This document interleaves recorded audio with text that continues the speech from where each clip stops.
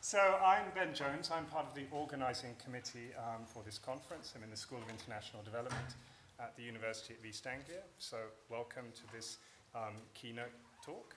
Um, I'll just throw a few words at you. Um, the anti-politics machine, anthropology. Can you hear me? Yes, we do. Would you say how brilliant that was? Oh. the anti-politics machine, anthropology's evil twin, which we heard invoked this afternoon, global shadows, the uses of neoliberalism, give a man a fish, the politics of distribution. These are all terms, phrases, ideas, concepts, debates which we've been encouraged to think with through the work of Professor James Ferguson. Professor James Ferguson, the Susan S. and William H. Hindle Professor in the School of Humanities and Sciences and Professor in the Department of Anthropology at Stanford. Um, Professor Ferguson has his PhD from Harvard, taught in California at Irvine, and is now based in Stanford. And today he's going to talk to us, continuing his work on the theme of distributed politics. He's going to try and extend our ideas about presence and ownership. I won't say much more now, but I will say one anecdote from when I was a much, much younger person, when I was starting out in my PhD, in those days when you couldn't order everything online immediately from Amazon, I was at the London School of Economics, and there was this very, very nice anthropologist, which will be known to many of you in the room, Suzette Heald. And I was traveling over to the United States. And you might have noted in my little introduction, there was one particular phrase from Professor Ferguson's that I missed out. And that was expectations of modernity. And she was like, Well, Ben, it's coming out here in a few months' time, but can you get me a copy? Can you get me a copy? Because I want to read it. I want, I want, I want to get that American edition. And I was traveling to the US and I brought Professor Heald, Suzette Heald, back a copy. And I think that, that, in a way, is a testament or a way of encapsulating the way Professor Ferguson's work has been something we've all thought with, something we've all engaged with, something we've all, all took time to wrestle with, to make sense of, and in some ways to anticipate the future of both development studies, I think, and of, and of anthropology. So that's all I'll have to say for now. But Professor Ferguson will talk for about 45 minutes. Um, then we'll open it up to questions. If we could keep those questions brief, that would be very much appreciated by the speaker. And uh, we'll aim to finish around quarter past seven. But without further ado, uh, Professor Ferguson.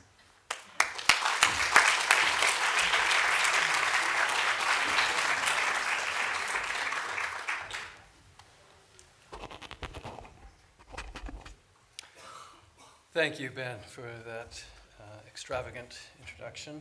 Um, and to Emma and to all of the other organizers, thanks for making this happen, um, for making this visit uh, possible, which has been a rewarding one for me. Thank you. Uh, I wanted to say something about the conference theme. Um, but then I looked at the conference theme, and it was a little bit daunting. Um, anthropological perspectives on global challenges. I think it's daunting because anthropologists are generally skeptical of grand stories about what the world does or doesn't need. And our disciplinary modesty tends to reject the role of solver of global problems.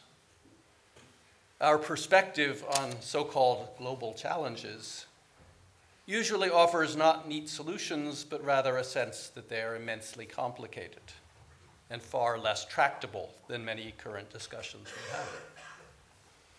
Certainly, we are far less comfortable tossing out supposed solutions to the world's problems than are our colleagues in some other disciplines, more comfortable than we with radical simplifications and modeled predictions. But perhaps we should not interpret the conference agenda in such a grandiose spirit. Seeking anthropological perspectives on global challenges might rather be taken to entail something a good deal more modest than peddling comprehensive global solutions. Perhaps something as simple as seeking to apply anthropology's knowledge and insights to understanding issues and processes of broad scope and significance, wherever we find them and at whatever scale is appropriate. Indeed, I'm largely in sympathy with such a move.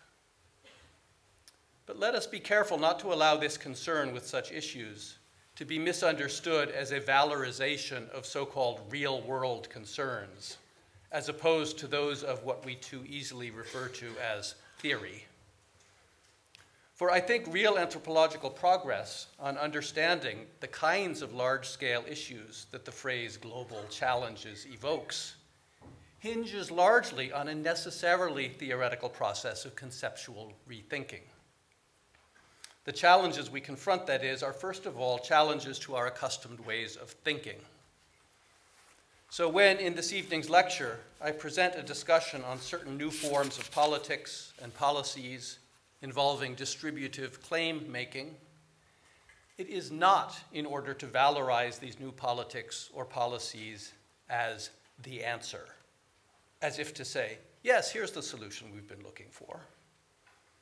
It is rather to point to some of the ways that our thinking is having to change to keep up with changes in the world. If there is a global challenge that I seek to address here, it is first of all this conceptual one. My route into these issues has been via what I call the politics of distribution. By that phrase, I mean most simply the political question of who gets what and why. And the claim that I wish to make here is that labor and citizenship, long the anchors for our thinking about these questions of distribution, no longer provide an adequate way of answering them. Both in my own area of specialization, Southern Africa, and across the global south and beyond, the old answers leave out huge populations.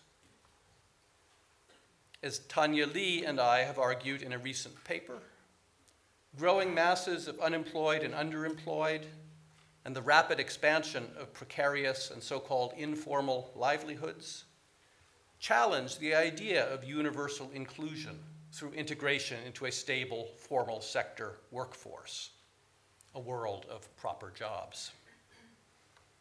Meanwhile, an increasingly mobile global population leaves growing numbers all over the world undocumented and thus lacking citizenship rights in their places of work and residence.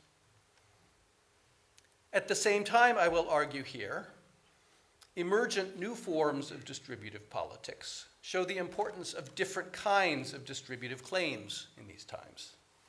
Claims based on neither labor nor citizenship, but on what we might call, in the broadest sense, ownership on the one hand, and what I term presence on the other. I will explain these rather cryptic terms shortly. But let me start by reviewing very briefly those long established old distributive ideals grounded in labor and citizenship. And here I briefly refer back to that paper uh, with Tania Li. With respect to the labor side of the story, all across the world, a kind of meta narrative of economic progress promised as a culmination of the development process the universalization of waged or salaried employment. A modern society was a society of jobs and job holders. That this promise has so often ended up a broken one does not seem to diminish its attraction as is clear in rhetorical appeals of politicians the world over. Jobs, jobs, jobs. But the limited ability to think beyond the promised land of jobs for all afflicts not only politicians but scholars as well.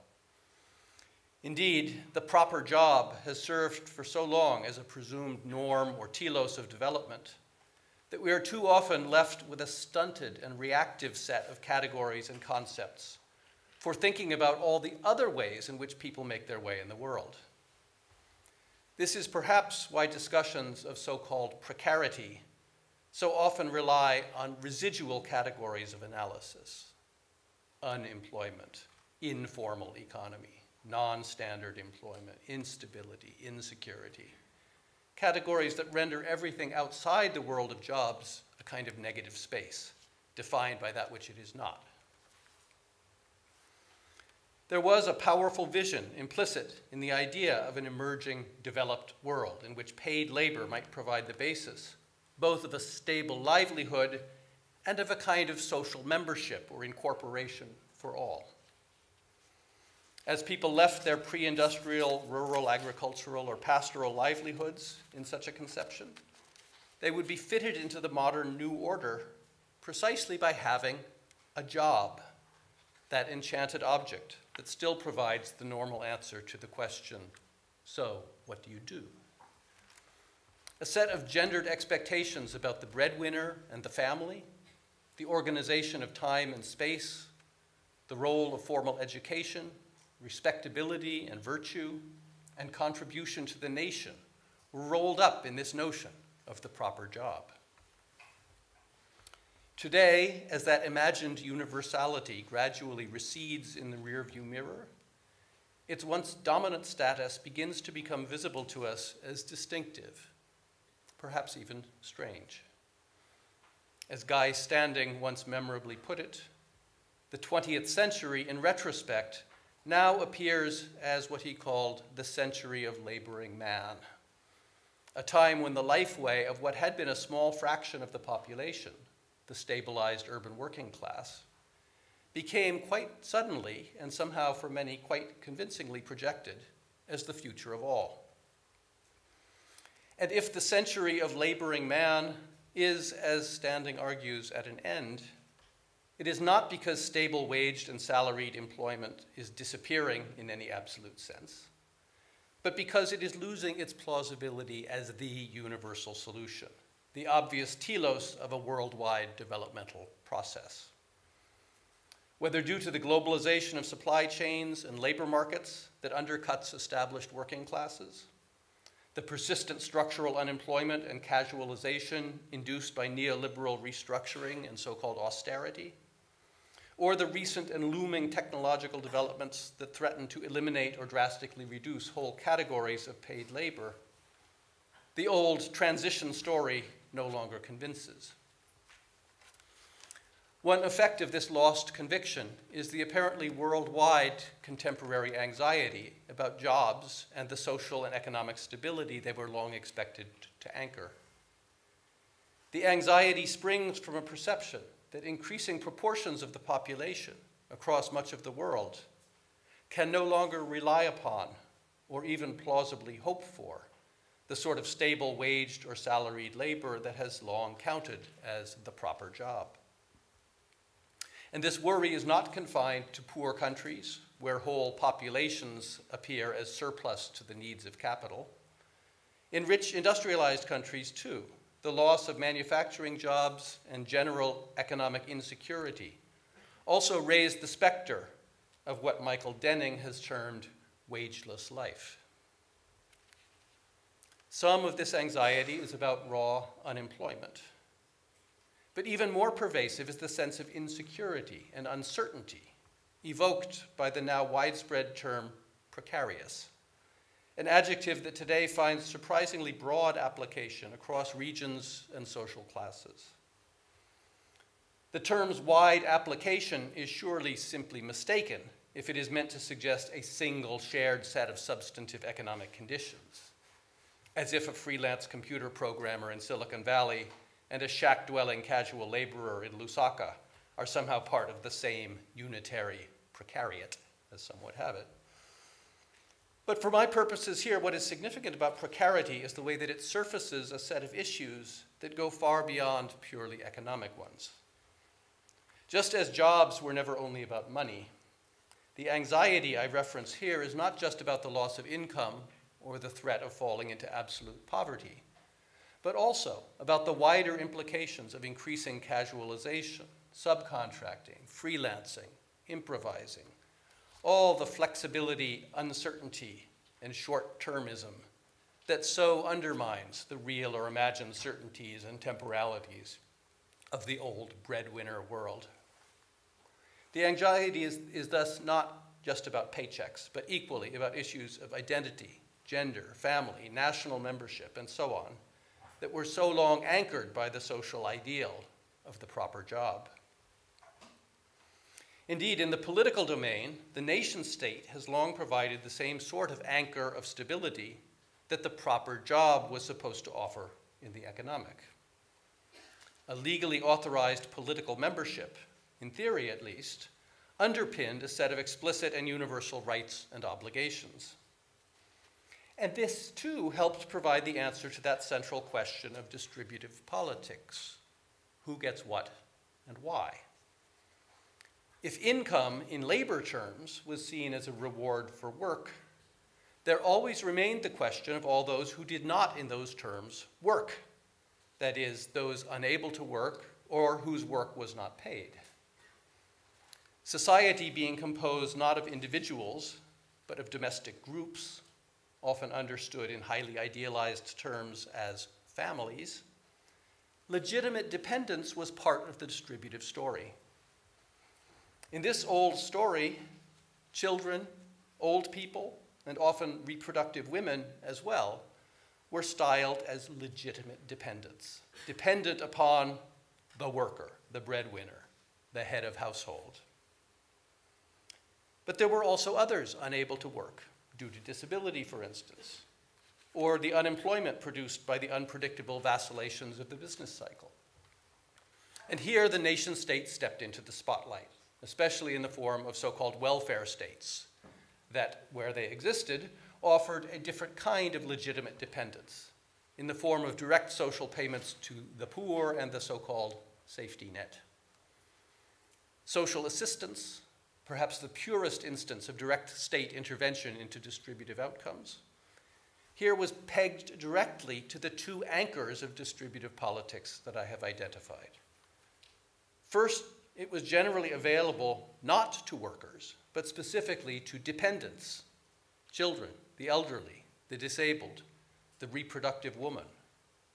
A kind of photographic negative of the laboring man, that able bodied worker, the breadwinner. And such support was available, again, nearly always, only to citizens, as a kind of solidarity appropriately extended only to those within the charmed circle of national membership.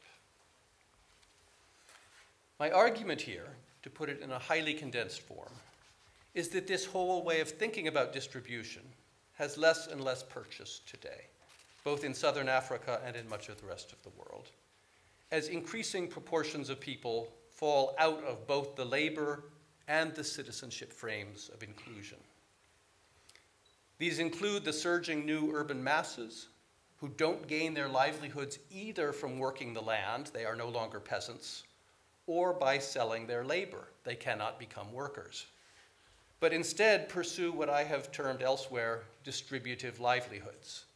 That is, livelihoods that depend not on selling one's labor, but on accessing the income streams of others via social or political claims. Those falling out of the frame also include those who, with or without access to paid labor, are unable to access citizenship based forms of distribution, including social protection, due to migration and the associated lack of documents.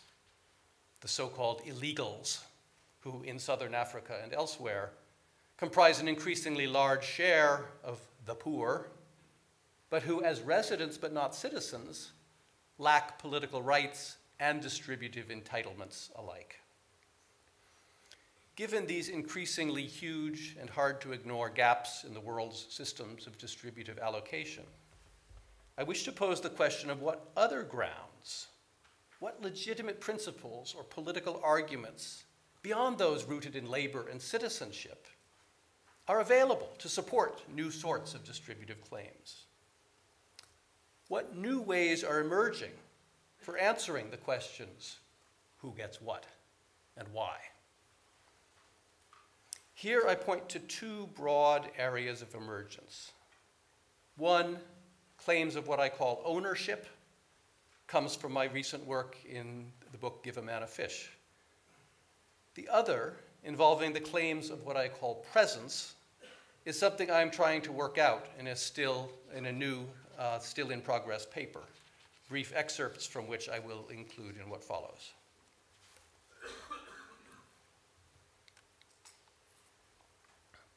With respect to what I'm calling ownership, I begin by observing that even those who are partly or wholly excluded from the world of productive labor may still make strong distributive claims by styling themselves as members of a collectivity understood as a rightful or ultimate sort of owner. Marxism, with its labor theory of value and its fundamental understanding of the oppressed as workers, has always struggled with the politics of the non worker, the so called lumpen masses excluded from the putatively revolutionary class of wage laborers. But I suggest in Give a Man a Fish that we are heir to a rich set of alternative left traditions that may have more to offer to those excluded from a role in the production system. The anarcho communist Peter Kropotkin, for instance, always insisted on starting with universal claims of distribution and a notion of distributive justice ultimately rooted in societal membership and not just labor. Where does our vast wealth come from? Why are we so much more productive than our great grandparents? We are not better people than they were. We certainly do not work harder. Instead, we are able to produce vast riches they could not have dreamt of, only thanks to a vast worldwide industrial apparatus of production. An apparatus built up through generations of work, sacrifice, and invention across centuries, even millenniums of human history, in a process that generated massive suffering for millions all across the globe. And to whom does this vast wealth producing apparatus really belong? Surely not only to the corporate stockholders who now outrageously claim to own it outright, but to the descendants of all those who worked and imagined and suffered and bled to create it. In short, to all of us. The whole system of production in this conception must be regarded as a kind of collective inheritance. And from this universal claim of common ownership, Kropotkin derives a universal distributive claim. Surely, at least some portion of the entire output must be due to each and every one of the rightful owners of the apparatus of production. Everyone, that is, must receive a share. Note that it is not the worker as worker whose claims are prioritized here, but the member of society, the inheritor of a great common estate in which each and every one of us has a share. It is not just labor that founds that inheritance in this view, but also things like suffering, bloodshed, ingenuity, and shared experience. It is therefore the entire society that is the source of value. And it is all members of that society, and not only those currently employed as workers, who, as inheritors and co owners of the whole, are entitled to a rightful share of society's proceeds. Such arguments, I have said elsewhere, are not only of academic interest. As I show in Give a Man a Fish, remarkably similar arguments have been put forward recently by advocates for Namibia's basic income grant campaign, who propose that each and every Namibian should be entitled to a monthly cash payment precisely because they, as the nation's citizens, are the real owners of the country and its considerable mineral wealth, and therefore ought, as they say, to share in the country's wealth. Receipt of a modest monthly payment in these arguments is rendered simply as the receipt of a share that is properly due to an owner. The most basic citizenship right is thus understood not as the right to vote, but as the right to partake in the wealth of the nation. Direct grants from the state in this understanding need not bring with them the shame or stigma of receiving charity or getting a handout. In receiving a rightful share, Namibian citizens in this conception are simply partaking in the wealth that rightly belongs to the whole nation. And in doing so, they, as rightful co owners of that wealth, are not receiving a gift or being offered help. They are claiming what is already rightfully their own a rightful share.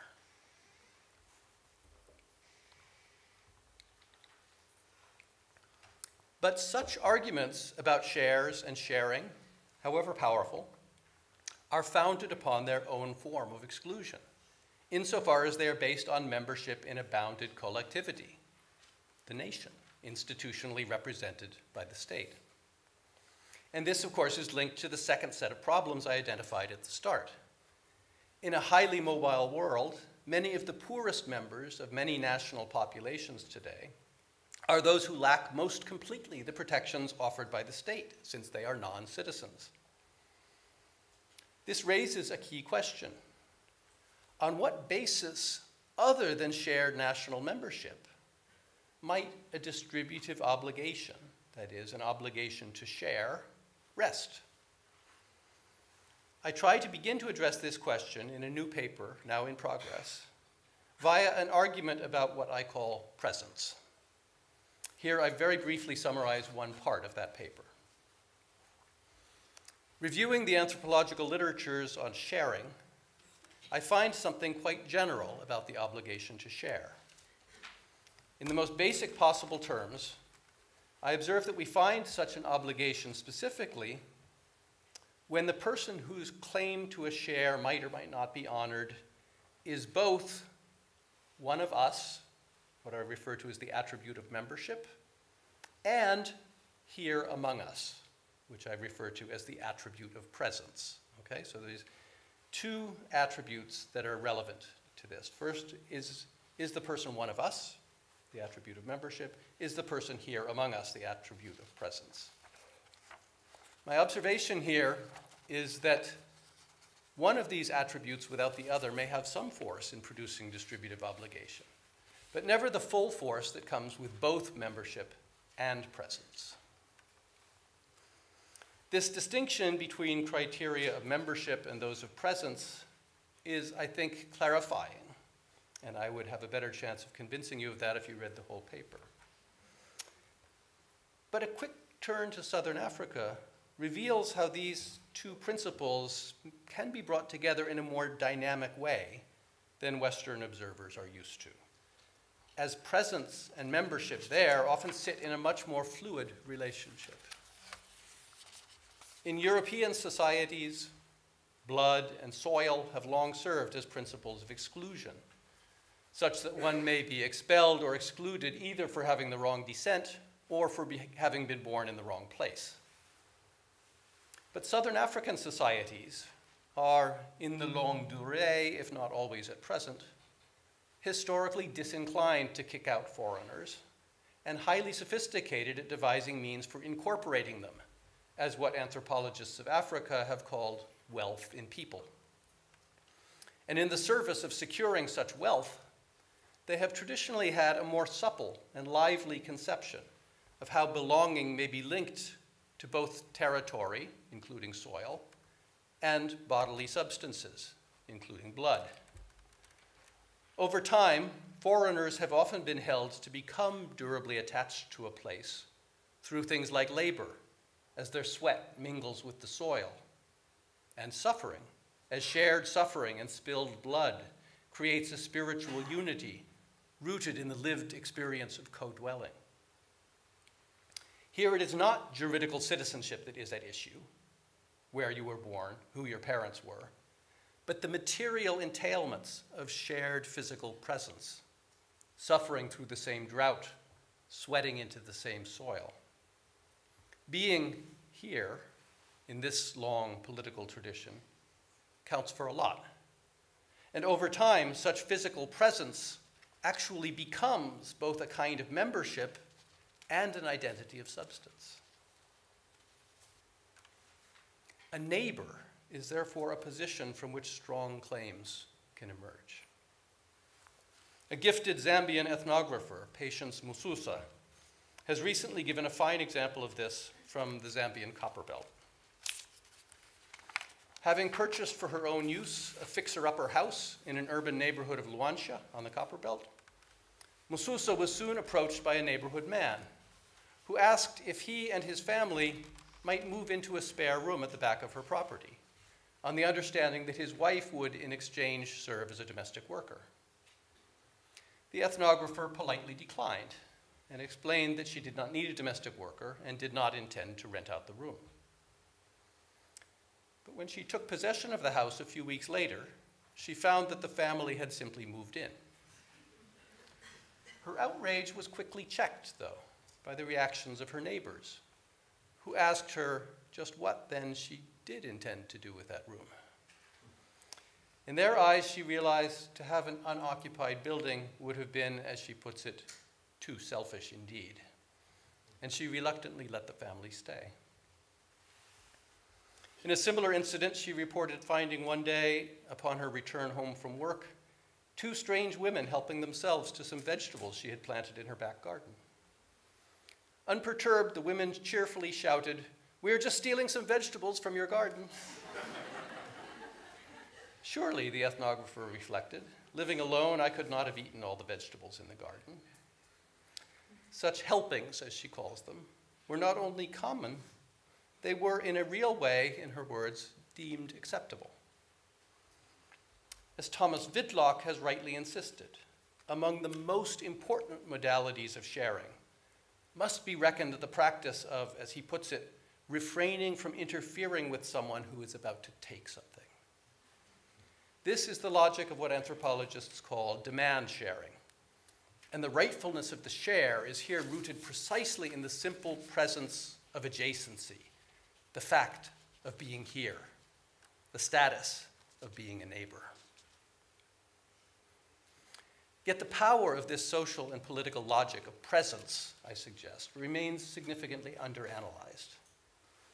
Even as what I have called the membership principle, one of us, is both explicitly acknowledged in law as citizenship and endlessly subject to critical analysis as the politics of identity.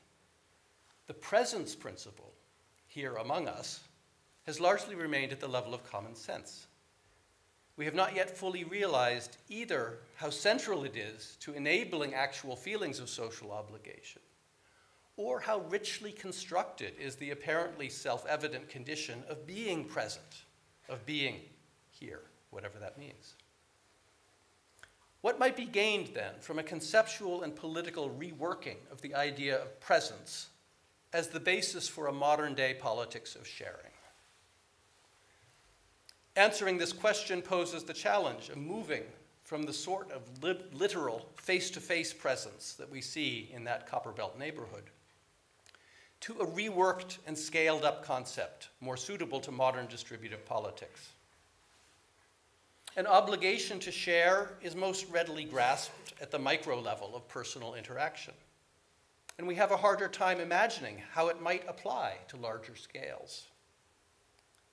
But why is this?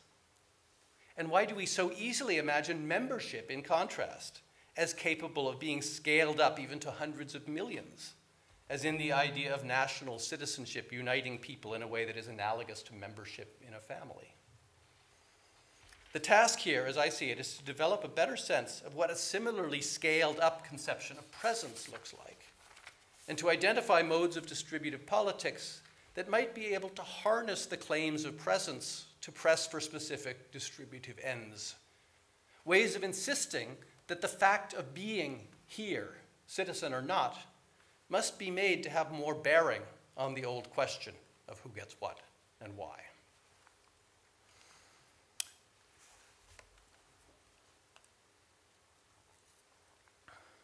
Where can we find such a politics?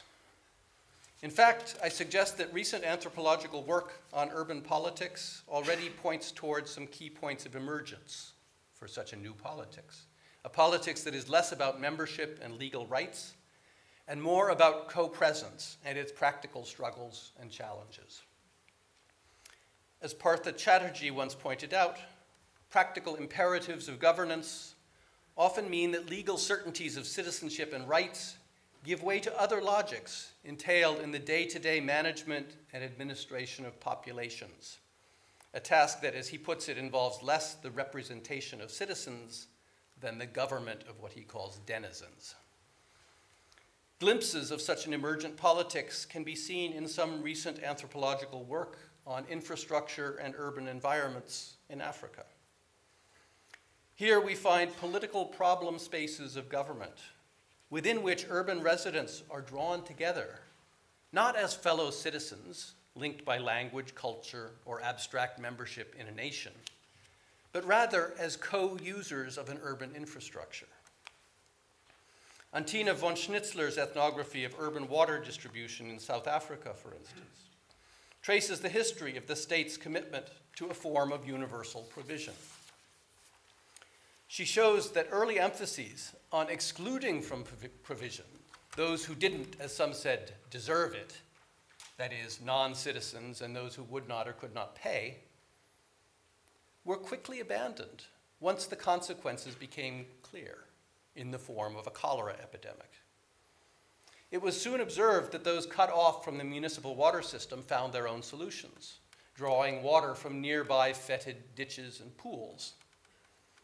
And before long, it became clear that cholera was not interested in who did or did not deserve to get it. And bill paying South Africans were soon taken down by the same germs that infected the Mozambicans and the Zimbabweans and the non paying indigent. The claim to services here was ultimately granted, not as a matter of right, but of the inescapable pragmatics of presence. In another recent example, Jacob Doherty's work in Kampala shows us a different urban scene, one in which people are linked less by political integration as citizens or by economic integration in a system of production than via a kind of urban ecology of waste and disposability. Struggles over waste unfold in a context where both conventional electoral politics and labor based mobilizations play a part, to be sure. But along with such familiar elements of African urban politics, Doherty foregrounds a set of distributive struggles that are not reducible to them.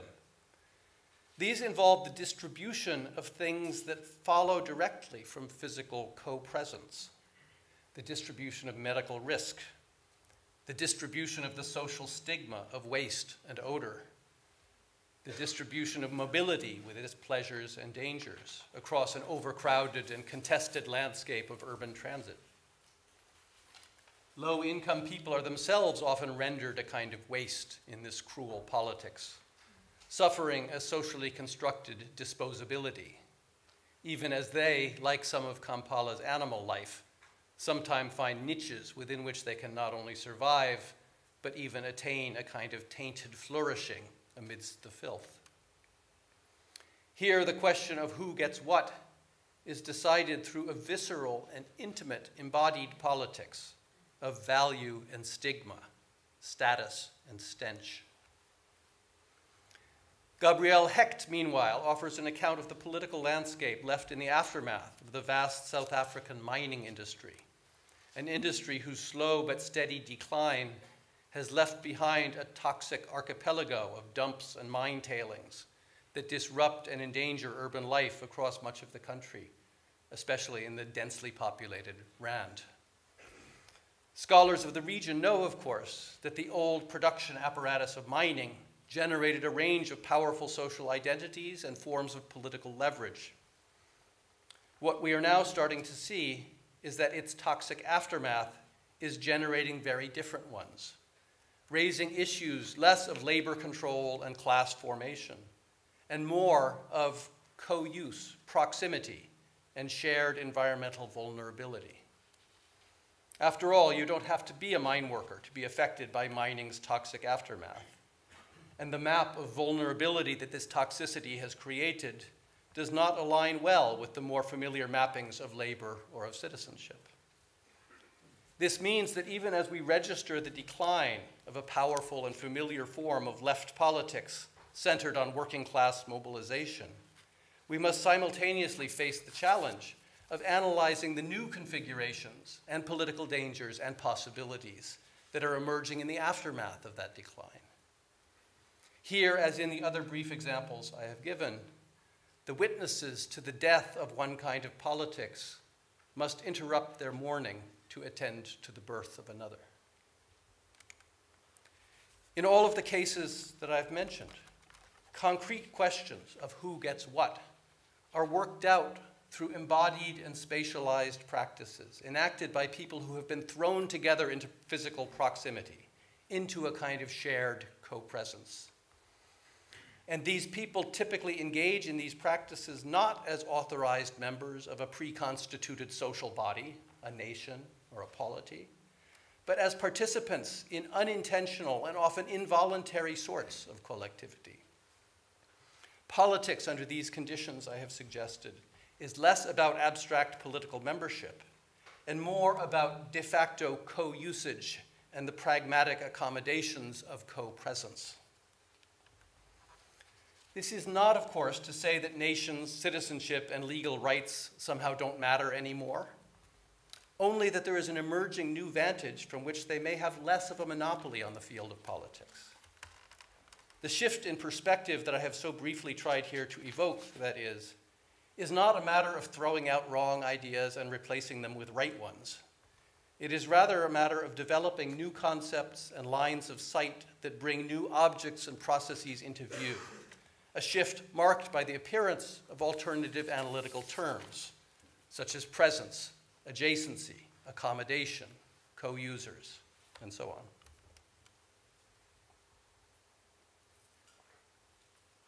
In conclusion, let me emphasize that I acknowledge that the modes of making distributive claims that I have discussed here may well not appear terribly potent in a world where the old constructs of labor and citizenship so often continue to dominate the conceptual landscape of distributive politics. But I would also insist that the forms of distribution that I have identified must be understood as emergent realities rather than utopian proposals. Universalistic payments based on the idea of popular ownership, for instance, to return to the first half of the paper, are not some utopian scheme, but already exist in a number of different forms. New social protection programs in several countries, for instance, link state owned mineral resources directly to social entitlements such as pensions and child care grants. In the US, we have the example of the Alaska Permanent Fund, which makes all residents of Alaska shareholders in a portion of the wealth produced by oil production there. Residents receive an annual dividend check based not on their participation in production, but their legal status as state residents, i.e., as owners. And of course, similar arguments about the people's claim to the nation's mineral wealth have been drawn on quite effectively in Namibia's basic income grant campaign, which I've analyzed elsewhere. More broadly, the cash transfer schemes that have proliferated all across the global south in recent years are, it is true, still mostly conceived in a depoliticized social assistance frame. But as I suggested in Give a Man a Fish, drawing on Southern African experience, they may also be helping to lay the groundwork for new sorts of distributive politics that might help move social payments away from the old grounds of charity and help for the helpless and toward new conceptions that move in the direction of the rightful share. As for presence, here too, my approach is to track real developments on the ground, not to propose some imaginary pie in the sky. In fact, as I have emphasized here, the modern politics of state service delivery reveal the very real power of social claims based on presence. Which children should attend school? Who gets vaccinated for measles? Who gets toilets? the answers often proceed not according to a logic of right, but of practical accommodation. Well, do we want undocumented kids not to be in school? What would they do then, and with what consequences? Do we really want to exclude a huge chunk of the popula population from our vaccination campaigns? Not legal abstractions, but brute sociological and immunological facts give the answers to such questions. Certain services must, for practical as much as ethical reasons, be extended not to whoever is an authorized member, but to whoever is here. And all over the world, new forms of political assertion and pragmatic accommodation draw their force not from the claims of citizenship, but those of presence, the problems of government that they present involve less adjudicating the rights belonging to members than coping with the material demands of what I have termed adjacency. Finally, I want to emphasize that it is not a matter of whether or not we should have new modes of distribution. The great and growing masses of people who lack both access to land and regular wage labor and the protections of legal citizenship are not going to meekly curl up in a corner and die. They will press their distributive claims using whatever channels and levers are available to them. If the claims of labor and citizenship are not available to them, they will find other grounds for making distributive claims. And we will have to come to terms with new ways of thinking and new sorts of arguments. Arguments that, whether we like it or not, will disrupt our long established ways of answering that old question who gets what and why.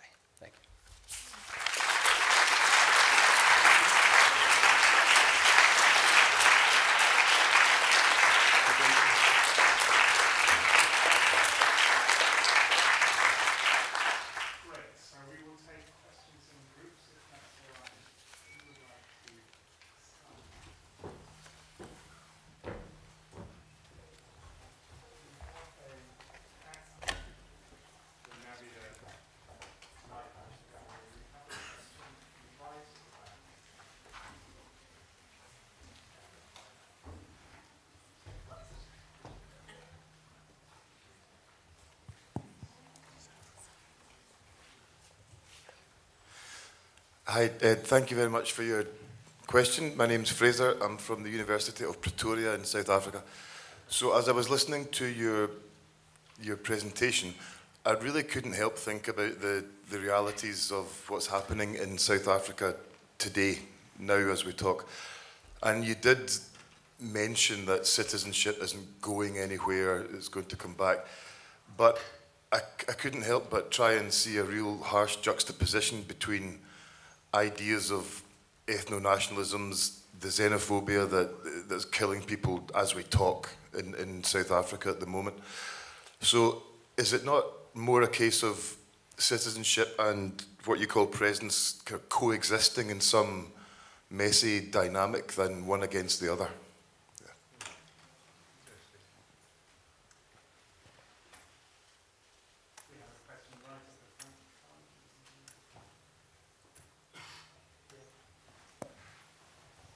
Well, Jim, very, thank you very much.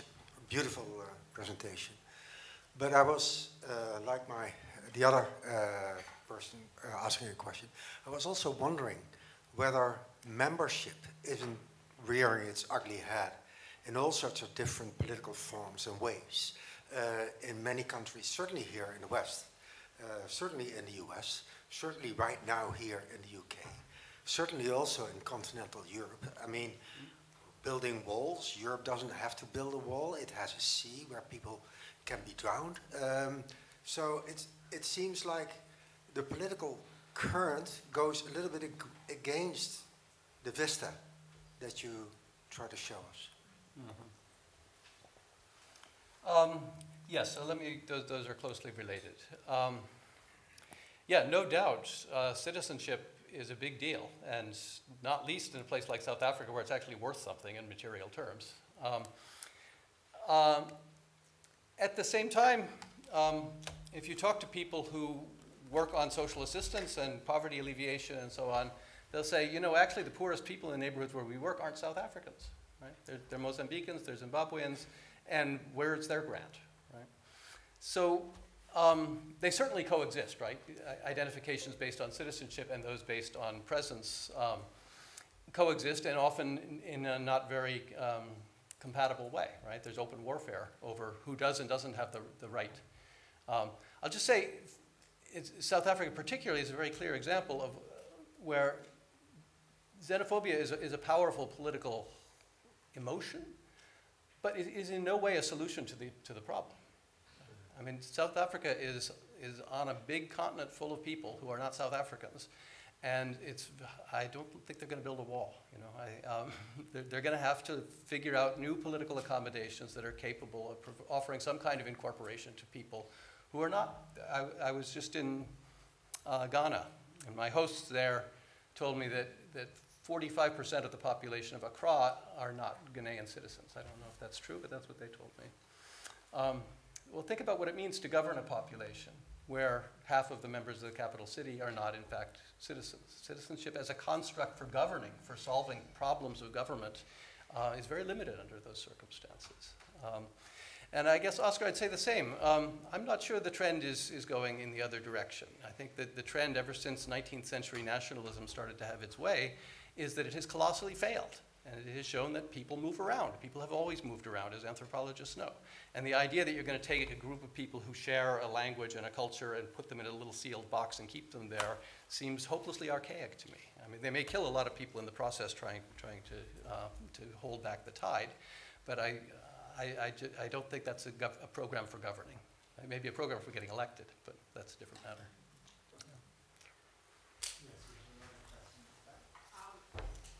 Wait for the microphone, please, which is now coming.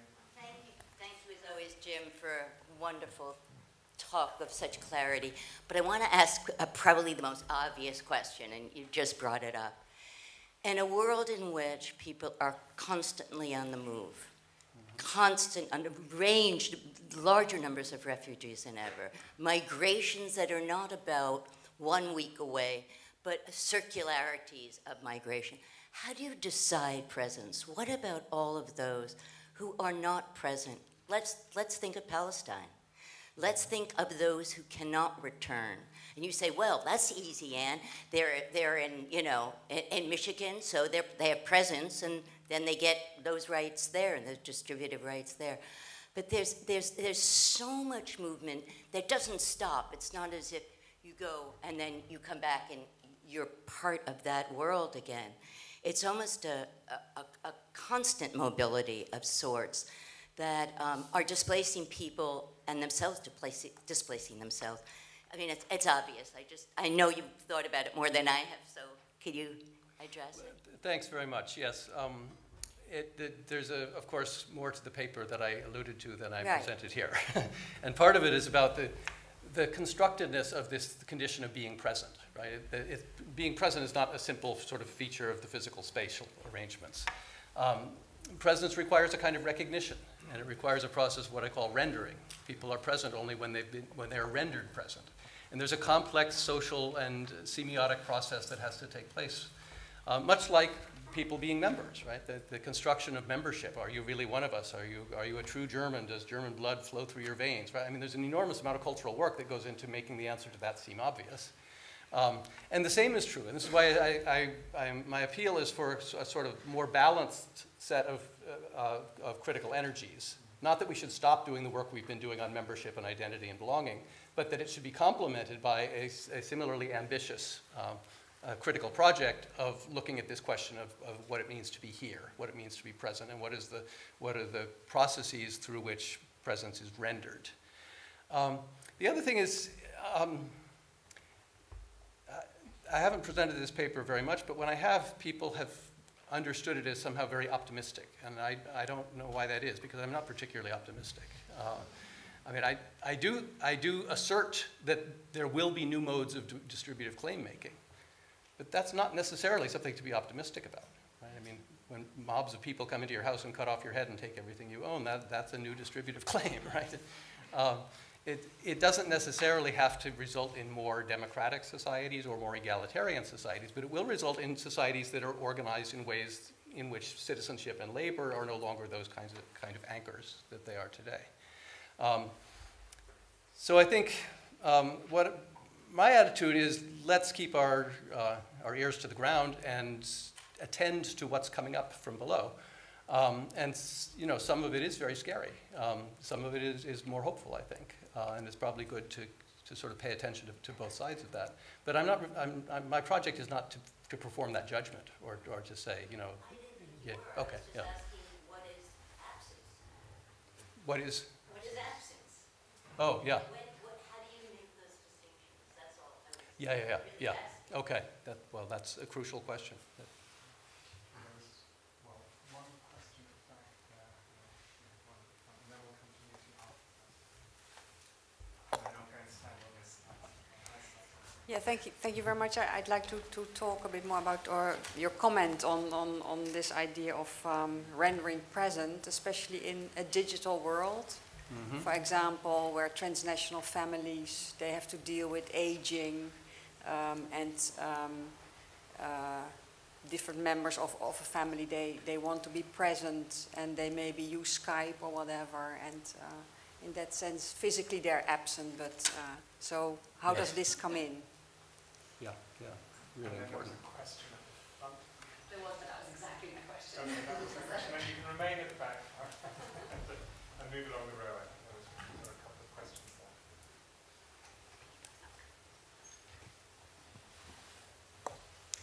Hi, um, thank you. That was fascinating and, uh, and a lot to take away. Um, you've, you've kind of touched on it already, so I just actually want to push a bit further there um, because I was thinking when you were talking uh, particularly about the example of the bedroom in the house and the presence, the politics of presence around that. Um, in the UK, we've had an example of a shift from a politics of labour and work to a politics of presence in our social benefit system uh, that was called the bedroom tax. And basically, people were taxed, often disabled people, for not having present others in their house. Um, yes, yes. And so that was making me think about where this shift is leading to uh, less positive visions. And so, seeing as you touched on that, I was wondering if there are any particular examples where, where you're concerned about the shift or, or that you've been dwelling on or thinking on that, that you think yes, particular risks and how to address those. Yeah, let, let me take all of these. Um, the, the digital thing is, is really important um, because, of course, um, our ideas about what it means to have a community or to have a friend, um, you know, have been, have been quite thoroughly transformed by the social media revolution. My guess is that people of my generation are probably not going to be the best analysts of that because it's still quite a foreign language for me. Um, I was struck, though, um, at the, the way uh, some of the coverage in Syria. I mean, of course, most people don't watch news, so I'm not sure what impact this has. At least in my country, they don't. Um, but when, the, when things were really turning very, very ugly in Syria, there were, there were a number of cases of people who were being killed while they were online streaming it to their friends, basically, right? Saying, oh, they're coming now, they're coming now, I hear them at the door, you know and, and the horror of, of being there while it happens, right? Sort of experiencing it through, through your, your little screen. Um, is much more visceral than reading in a newspaper that so many hundred people were killed yesterday in Syria. Um, and more visceral than just watching it on, watching a sort of coverage on TV too, because it's personal, because it's, because it's you know it's your friend, it's your. So um, I do think that, that that has to be part of the analysis of rendering present, right? What do we mean by present? What do we mean by feeling obligated to someone because, after all, they're here among us? Right? Here among us, that requires to be unpacked. That requires a critical analysis. Um, on, the, on the question of, um, of being here in the context of social assistance, um, interestingly, the, the trend has been in the other direction in, in Southern Africa, which is to say, and certainly in South Africa, there was quite a highly developed idea of um, social interventions as involving a kind of paternalistic process of forming people into proper families, right? So certain kinds of, of benefits might be discontinued if you were found to be a woman who was uh, having children without, be, without being in wedlock, or you know, ver various kinds of moralistic policings of, of the, the uh, family structure. The interesting thing is that when they introduced the new child care grant in South Africa, they explicitly jettisoned all of that. And they said, no, the, the grant is for the child and it will be paid to whoever's caring for the child. And we don't care if it's the mother or the mother's sister or the mother's mother or the mother's lesbian lover or somebody who's not uh, a relative at all. Whoever it is, we don't care. We're not going to try to keep track of that. We're not going to try to form people into optimum families because we don't think we know what an optimum family is. Right? This was the thing. We think people know their own circumstances far better than we ever will. We're going to give them some resources that enable them to do whatever it is they're doing and do it better. But we're not, we're, we're going to abandon that age-old ambition of social policy to sort of use the force of social interventions to mold proper families. In fact, the word family doesn't even appear. Um, so, you know, any, I mean, you can gloss that, I guess, as, uh, as dystopian, as, you know, nobody cares how children are being cared for or something. But I think for, for many people, it's, it's been liberatory. And in some ways, that, that is what the old feminist critique of, um, of welfare wanted, right, was, was for, for the state to sort of get off the backs of women and let them, let them live with who they want and let them raise children how they want. Um, so in that sense, it's a membership logic, right? You get the benefit because you're a South African and because you have a child under the age of 18. Um, and it's, um, you, you, don't have that kind of familized presence that you were, that you were I think, evoking, um, and which has certainly been an important thing in much of the rest of the world.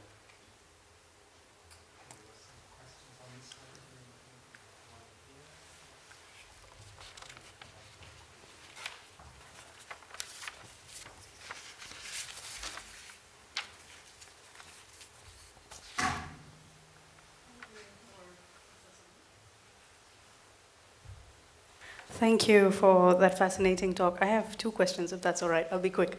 Um, the first one, where you talked about the sort of brute sociological and immunolo immunological as like a driving factor or rationale for redistributive politics.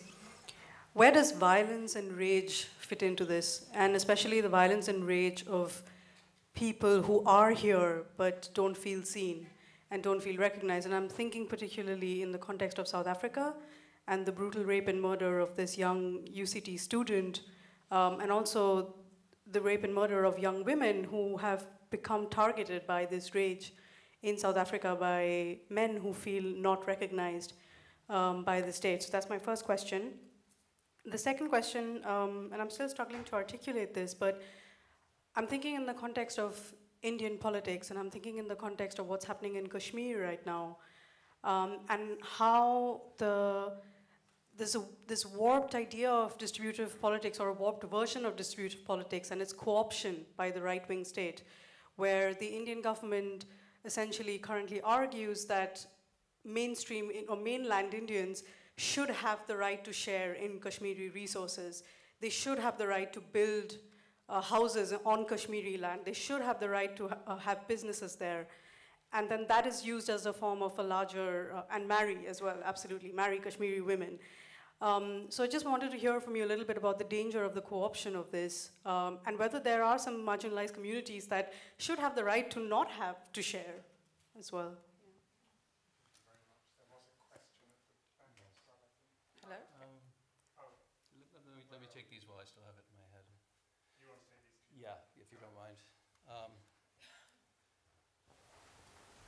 So, um, yes, violence is definitely part of the politics of presence. It's one of the reasons why you, in so many cases, simply can't ignore people even though you'd like to ignore them, or even though you may consider that they shouldn't be here in the first place, or they have no rights, or in, in normative theoretical terms, they may not, in fact, be, member, be, be part of the society at all.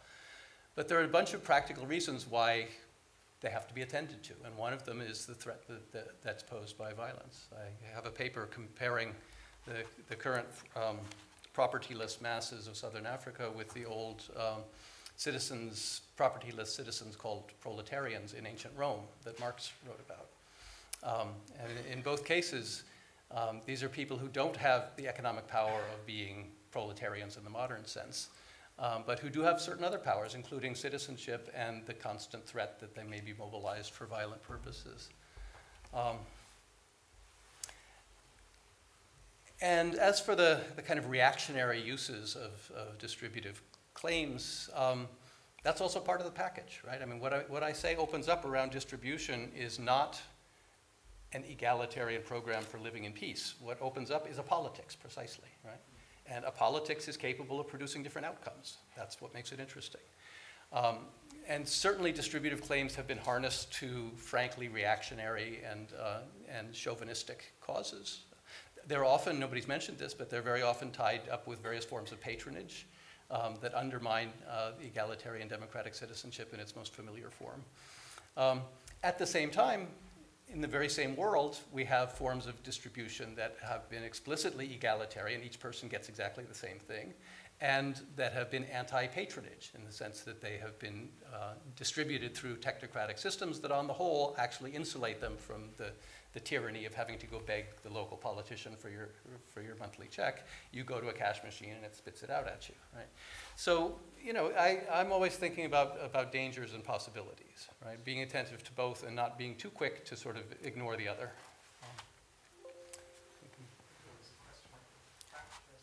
Um, thank you very much for an absolutely fascinating talk. My question follows on a bit on the mobilities and absences question. And I was wondering um, where the space of transience is in the politics of presence and how one's present is different if one is a transient person than if one is not. Specifically thinking about the example now of South Africa, where I live in Cape Town, there's a lot of Malawian migrant laborers um, who are criticized by the local South Africans for taking on very low pay, not making uh, demands around their labor rights, but often do so be precisely because they're only there for a short time, maybe three or four years, and then they leave. And a lot of their money that they make is not reinvested into the space in which they live, but of course sent home. So a, an important marker of their presence is actually that it's transient. So I was wondering how much that plays out in the politics that then develop.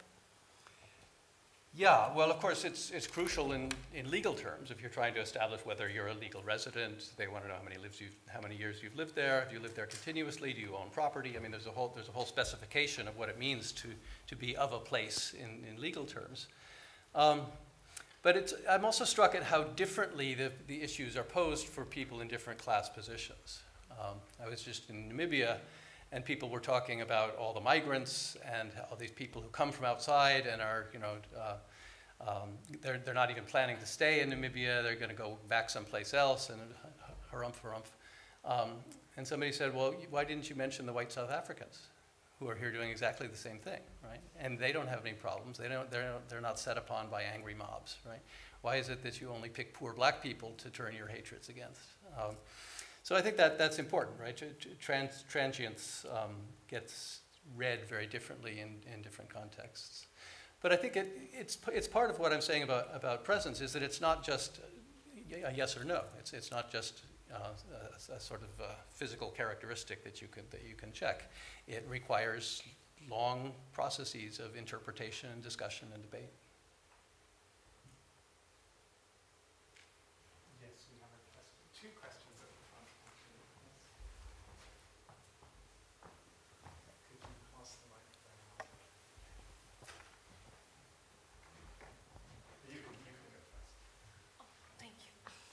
Thank you very much. Uh, my question is about, um, again, presence and absence. Well, it, because it's complicated and I need to, I feel the need to ask this question. If presence creates um, identities, then um, how to ensure the continuity of a collectivity or a community?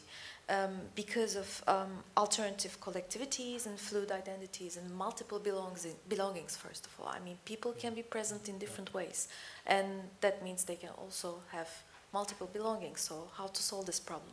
Thank you. Mine's a very different question. Do you want to take that one first? Uh, yeah, why don't I? Um, um, well, I think the interesting question is what enables people to mobilize, to band together for common purposes. Um, and the way you put the question suggests that that must be some form of belonging. Um, and I'm suggesting maybe not. Maybe belonging is one of the ways that people band together and unite in forms of mobilization. But there may be other people who don't particularly feel a sense of belonging, who don't, are not part of the same national story, who don't speak the same language. But they're exposed to the same toxic dump, for instance. Think about all those, those people in Accra who, who don't share a nationality, who don't have legal rights.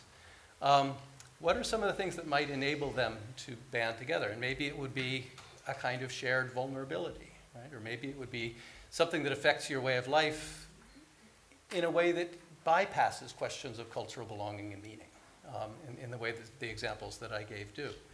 Um, and that will also generate forms of solidarity and forms of mobilization, but they won't look like the old comradely, horizontal uh, trade union kind of solidarity. They'll have different characteristics, and they may be shallow in, in relation to the, the, deeper solidarities of national membership or of, of workplace-based identity. That may, that may be the case, but even shallow reckonings of, of, of a common predicament uh, can produce results in terms of, of achieving distributive outcomes. Um, Yeah, I think that's, that's probably. Yeah. Okay, yes, this is a slightly left field question, okay. but I'm curious, and so thank you for making me curious.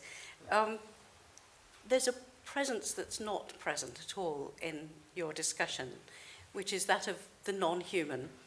And I'm very conscious listening to you that when you're talking about distribution, you're talking about extraction from non human beings, water, etc um, which have their own needs and interests, which are never represented in conversations about distributive justice at all. And in the time that we've been talking here, about five or six species have gone extinct because we continue to extract and distribute the resources that they also need but are, are being overridden.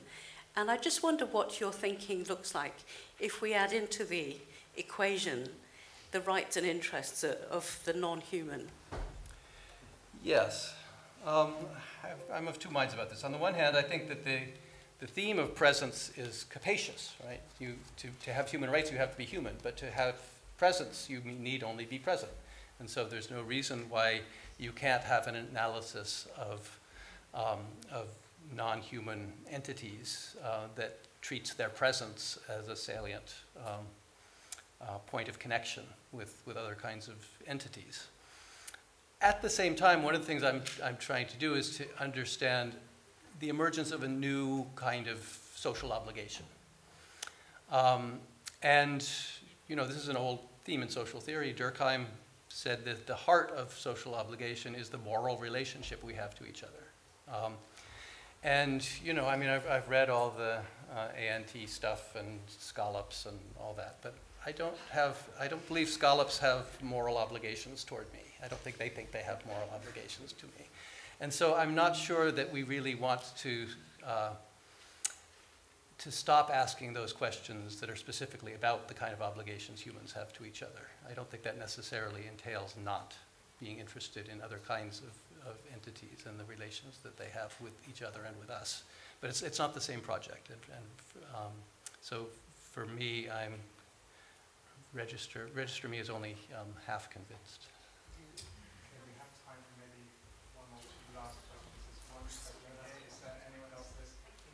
We'll take, there are two hands at the back as well, Cara, so if you can do, oh, it's the one, yes. So we take your question. Great. Thanks.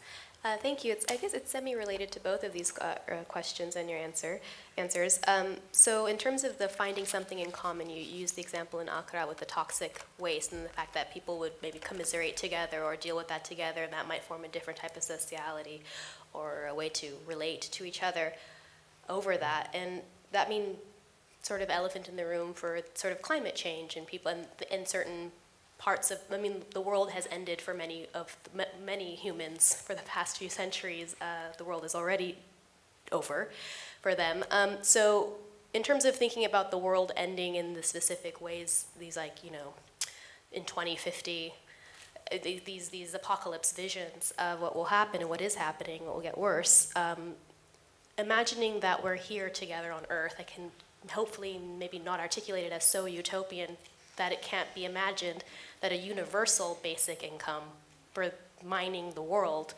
as it has been mined for the humans and the non-humans on that on this planet um, would also halt perhaps a lot of global migration that's economic in nature certainly not the climate migration um, issues but a universal basic income would be something to also envision as a type of presence on Earth as we flee from cyclones mm-hmm. and uh, deal with water issues. Yeah. Thank you very much. Yeah. And we have two questions at the back as well, the last Thank you so much. Um, my question actually follows nicely on from that, um, and it's um, in these emergent realities that you talk about in terms of like this presence, uh, also the notion of temporality and a lot of the claims that are being made in terms of climate change are made on behalf of future generations who are not present to um, speak for themselves, but who are made present through, uh, for example, the lawsuits over climate change that are going on in various places of the world, or this like notion of mobilizing for the school strikes are not just for the present generation, but also in terms of the future generations. And so I'm just wondering um, how to think of those alongside the kinds of claims of universal basic income and um, and of, of co-presence in the in the in, in the here and now, but also with the kind of bearing in mind that a lot of the mobilization for for these kinds of claims are made also with a with a look to to the future. Thank you very much.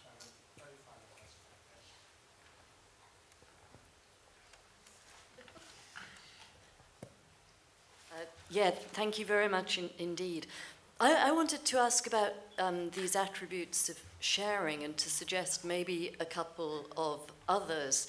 I was very struck by your examples, and, and I thought that what seemed to really motivate the sharing in both of the cases was also a sense of the need of the other people involved. And I wondered if that might be something that you'd consider building, building into uh, as an attribute or whether that's somehow subsumed by presence. But I also wondered about um, the something that we might call something like sense of resonance of experience. And there's something that maybe doesn't relate to presence, but actually to past experience. And what I was thinking about there was that um, in uh, Germany, in the welcome movement that um, developed in relation to the long summer of migration, one thing that we, we, we saw was that quite often people were making analogies to things past in their families or others that they had known um, in the past. So my question is, could they also be other things that you might add as attributes to this um, idea of sharing? Yes. Um, well, I think what's most striking in the anthropological literature on sharing is how little it has to do with the feeling bad for somebody and therefore wanting to be generous to them, right? which is kind of the Western idea of what, what sharing is. You share because you're a nice person and somebody is in need. Um, and the, the, the, sharing literature that comes out particularly of the foragers, which is where the, the topic has gotten the most extensive development, uh, really emphasizes that um, you don't decide to give someone something because you feel sorry for them. They come up and they take it, and you have no right to stop them from taking it. This is why it's called demand sharing, right? They take it because it's theirs. It doesn't belong to you just because you're the hunter who happened to fell the antelope. It's not your personal property. Right? You bring it back, and whoever's there takes a share. Um, and there's rules about who takes which share and who goes first, and there's a bunch of, there's a bunch of social stuff as you'd expect. But the, the really robust idea of sharing that comes out of this is at the opposite pole from the idea of, of the, the, the beneficent gift, which is given by the greater party to the lesser party. Um, and in fact, when, when people do receive their share of the meat, they de emphasize anything like gratitude. Right? They don't say how wonderful, thank you for bringing it. They say, this is terrible, this meat isn't, isn't, isn't half as good as it should be. Why do, you, why do you waste our time with this, right? So it's symbolically sort of reducing the distance between the, the one who's receiving and the one who's, who's quote, giving, but giving isn't really the right. Anyway, all that. Um,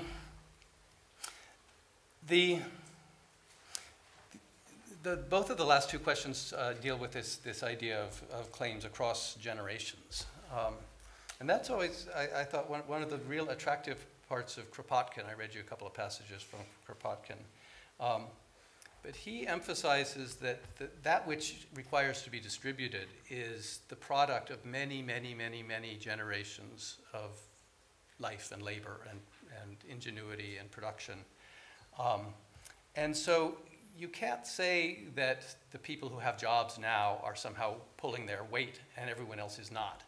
Um, the, the wealth that's being produced was produced by all of those hundreds and hundreds and hundreds of generations cumulatively. Um, and, and so it, it means that people who've never had the opportunity to participate in the production system still have the standing of owners, right? They have the standing of owners because they inherited. Um, that has implications too, I think, for the future, right? If, we, if you think of our relation to the future not just as preceding it or being less developed than it, but as rather um, leaving an inheritance, right? Um, that, that might be a useful way of thinking about it. Um, the, the climate change thing, of course, um, is, is very close to my, to my heart. Um,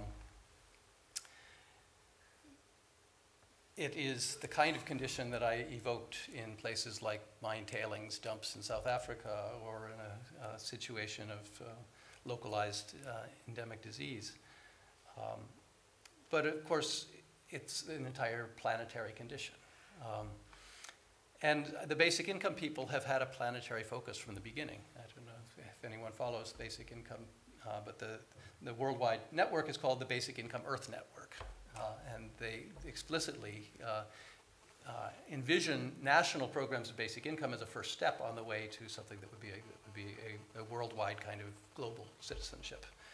Um, and I think, you know, at the level of practical politics, it, it's probably misplaced to spend a lot of time talking about how do we do that because we're nowhere close. Um, but I, I do think it's, um, it's useful horizon to have in mind when we think about, well, what are the emergent forms of politics here? And then you, you read about some of the things, the literature that I've been citing here, and you think, okay, but isn't that all of us, right? We, we all live on the same toxic dump, right? It's called Earth. Um, and we're all suffering from it, and maybe we can all band together based on that shared condition. Um, I think it's, it's a, a, nice thought to leave us with. Thanks.